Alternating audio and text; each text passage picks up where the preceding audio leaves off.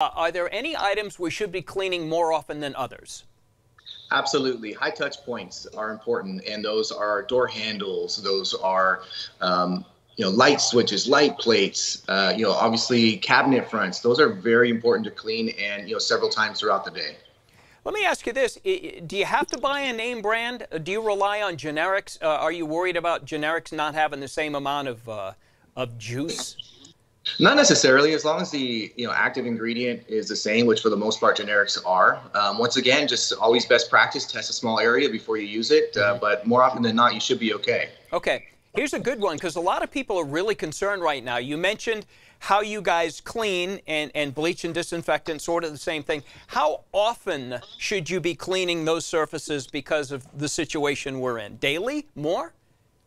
Yeah, I mean, every situation is different. Lifestyles, how many people you have in your home, how often you're using items. Uh, I mean, I would actually, you know, consider several times throughout the day. There's not a one size fits all, but if you know you're touching certain areas, certainly the high touch points, um, you you could be cleaning it as often as every hour. I mean, uh, we see what you know uh, people are doing in the grocery stores, and you know we're constantly touching items, and they're disinfecting at one after another as far as uh, you know customers are concerned. So it just depends on how often you're using items, how many times you're touching the door handle, doorknob. So absolutely, it changes.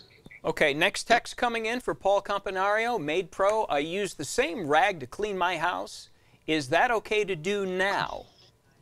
You know, you need to really consider changing your your towels. Um, and we use different uh, color towels for the bathrooms and we use for the kitchen.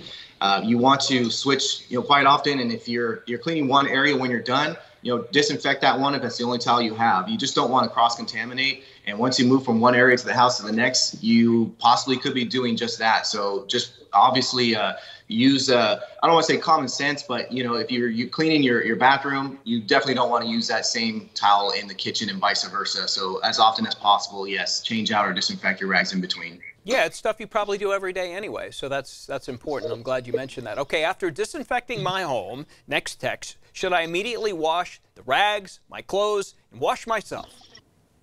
Uh, you know, I don't know about washing yourself, uh, but if you're wearing your protective equipment, so your PPE, personal protective equipment, your mask, your gloves, your goggles, you certainly can uh, dispose of those if most of them are going to be uh, disposable. But as far as your towels, I would recommend having a, a, little trash liner nearby. So when you're done wiping down your countertops, your high touch points, put them in that bag, lock them up, or tie them up, and then you know put them in the laundry as soon as possible, which uh, would be a best practice. We got that guy on the screen, boy. He, he keeps cleaning under that same couch. I don't think he's been able to get what's under there. uh, next text coming in. I'm hesitant about hiring a maid or any cleaning service. What safety precautions are cleaning services taking?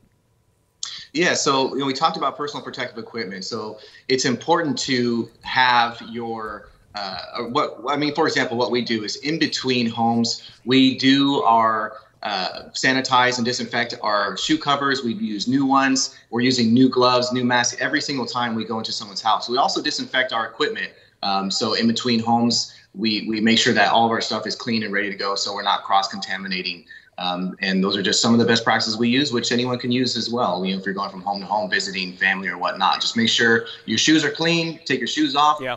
And that way you're not bringing stuff from the outside inside. Next text coming in for Paul. Should I be cleaning my electronics as well as like my TV, my player, computer, all of that stuff quickly, Paul?